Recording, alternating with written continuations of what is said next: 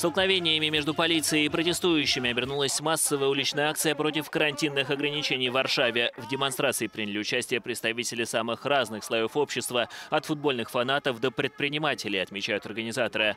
Они воспринимают запреты в рамках борьбы с пандемией как грубое нарушение фундаментальных прав граждан и удар по малому и среднему бизнесу. Как только вы говорите своим клиентам, оставайтесь дома, вы в опасности, носите маски, тут же начинает падать спрос. Это трагедия. Среди протестующих в Варшаве оказалось немало сторонников теории заговора и тех, кто не доверяет информации об опасности COVID-19.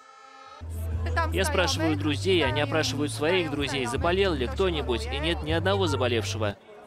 Польша, как и другие страны Европы, переживает подъем заболеваемости COVID-19 и ежедневно регистрирует уже более 13 тысяч случаев. На этой неделе правительство объявило о необходимости введения новых ограничений для сдерживания коронавирусной пандемии.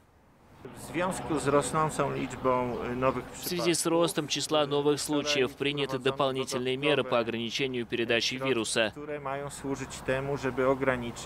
Заведения общественного питания должны быть закрыты. Запрещено проведение публичных мероприятий с численностью более пяти человек.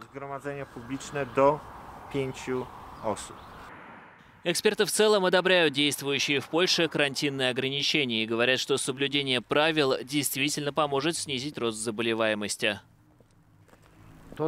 Больше всего беспокоит то, что ежедневно в больнице поступает от 500 до 700 новых пациентов, и мы понимаем, что это лишь верхушка айсберга. Если мы будем так же дисциплинированы, как и в марте и апреле, то в течение двух недель мы сможем сгладить эту кривую болезнь. Вот чего мы хотим на самом деле.